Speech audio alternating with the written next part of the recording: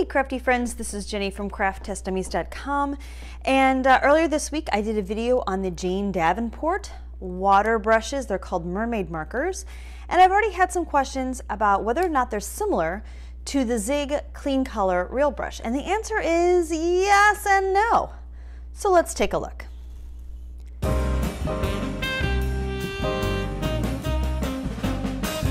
Okay, so the first thing we're gonna do is just uncap them and take a look.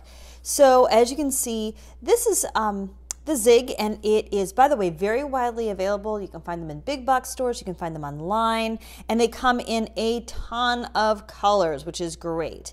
Um, it has a relatively small brush, but uh, I'm going to put my manicure at peril and show you that yes, they do separate, but it's a little on the short side. And this is watercolor paper. And if I just give it a little quick swipe across, you see that it is like a marker coverage. It's going to pick up the tooth of this watercolor paper, but you can get some beautiful, nice, fine lines with it, which makes it really um, great for coloring if you're coloring in small images. Now let's go ahead and do the same thing with the Jane Davenport. These are available in 12 colors right now at Michael stores online and at the Jane Davenport website in the UK, you are going to find that there is a much larger brush tip. This is much more like a water brush and the bristles are much longer. Um, also, what you didn't get a chance to see is when you first open them up, there's a little ring here that you have to remove. Then you give a little squeeze. The ink is readily available. You can see exactly how much you have left in the reservoir.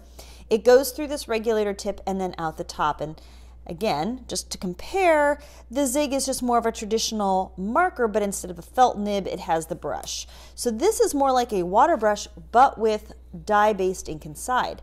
And you can see that even without squeezing it, I go back and forth and I get what I consider like a complete coverage. This is like a watercolor in a pen um, or in, in a water brush nib. You can Get some nice fine lines. You have to be very light-handed about it. But by the same token, you can also squeeze the nib and get puddles of color, which then you can blend out. Now, both of these are water reactive. We're to give it a little squeeze with water so that you can see. what I find is that the Jane Davenports are much more colored and intense and are really meant to be used more like a watercolor. They're perfect for blending and thinning down. The zigs are a little less so, a little more towards, again, like a traditional marker.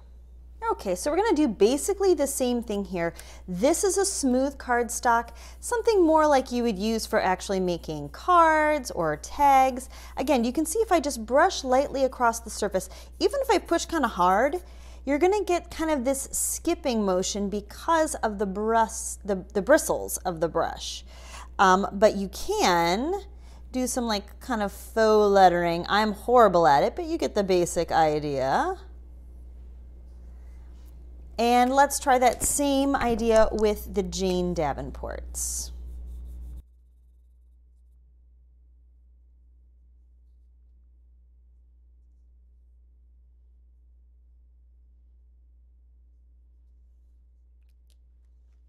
And once again, we'll add some water so you can see how they bleed out.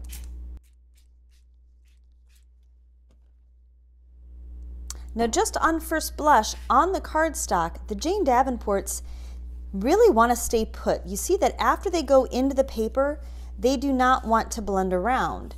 And um, I find that the Zig actually blend a little bit more or at least give a little bit more of a bleed out on just the plain cardstock. So here is a swatch sheet of the colors that I have of the Zig and what I did here was create a little bit of uh, color on the page, just going direct onto it. And then I used a wet water brush to just kind of dip in and let it pull for a second. So you can see that it does lighten and lift. They are very blendable. They're a lot of fun. Again, this is on traditional cardstock. And you can even dip the pen in the water and kind of bleed it out too, which is a really fun effect. The plus of the zigs are that they come in a bunch of colors over 100 128 I think um, and that they are very readable. They are a little on the pricey side but you can get them almost anywhere.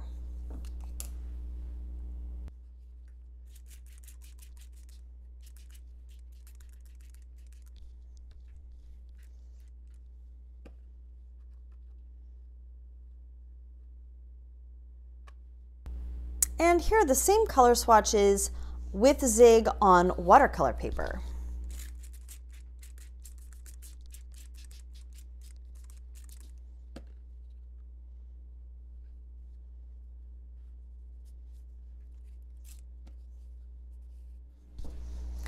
And now you're going to see the same kind of spritzing comparison using the Jane Davenports.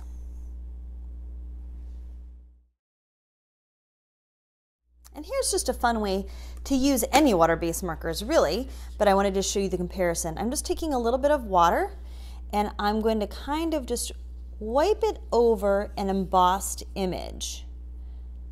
This is watercolor paper, but I'm just kind of creating a little zone for this. And now what I'm gonna do is use my real brush marker and just kind of tap in some color and let the water carry it around. Now I find that because the brush is so small, you can see how it's gone white. That means that um, it's basically leached all of the color out of the marker, so I have to kind of dab it on paper towel in order to get some more to come down.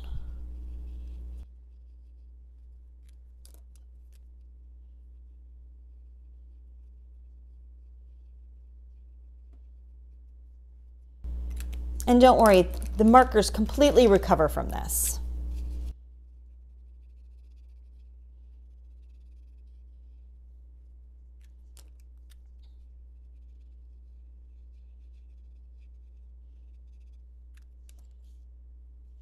And if you want it to blend a little more, just add a little extra water on top. Now just for comparison, I did the same process but using the Jane Davenport markers. And you can see that I got a much more vibrant, darker, kind of true watercolor look. So in sum, I would say that these are kind of like having Doc Martin's concentrated watercolors or hydrocolors in a pen barrel form, whereas these are like having maybe like a Tombow marker, but with a brush nib. So I like them both for different things. These are notoriously hard to find and or expensive right now, so you can absolutely keep using your Zig Clean colors without adding anything extra to it. I hope you enjoyed this video and comparison of the two products.